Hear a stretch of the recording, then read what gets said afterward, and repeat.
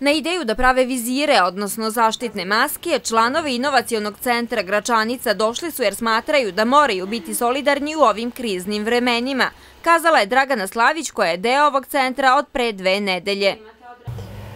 Na ideju smo došli tako što uh, mislim da naš narod treba da bude solidaran uh, u ovim kriznim situacijama i onda smo uh, gledali kako možemo najbolje da pomognemo našem narodu i došli smo na ideju da pomognemo zdravstvenim radnicima, zato što imajući u vidu da oni obavljaju najveći deo posla i da su oni najviše izloženi virusu.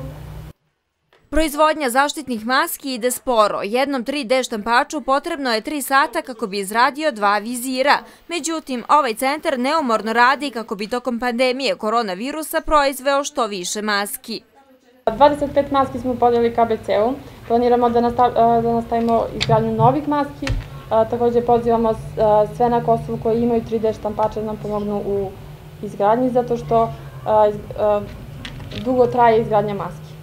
Inovacioni centar će nastaviti da pravi vizire koje će u narednom periodu donirati KBC-u, a umeđu vremenu im se javilo i nekoliko privatnih apoteka. Ovaj centar je zvanično oformljen krajem prošle godine. Isključivo se bavi informacionim tehnologijama, pre svega programiranjem, robotikom, web dizajnom i Arduino tehnologijama, kazao je jedan od osnivača inovacionog centra Aleksandar Blagić.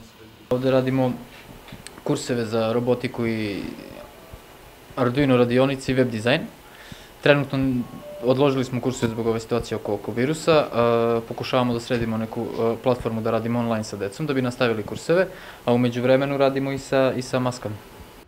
Pomenute kurseve pohađaju osnovci i srednjoškolci koje ljubav prema robotici i programiranju odvela na razna takmičenja.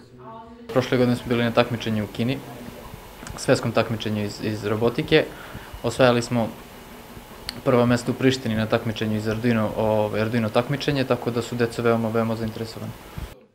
Narednih dana proizvodnju vizira za lekare u srpskim sredinama na Kosovu počeće i studenti Fakulteta tehničkih nauka u Kosovskoj Mitrovici. Potvrđeno je za radio televiziju KIM.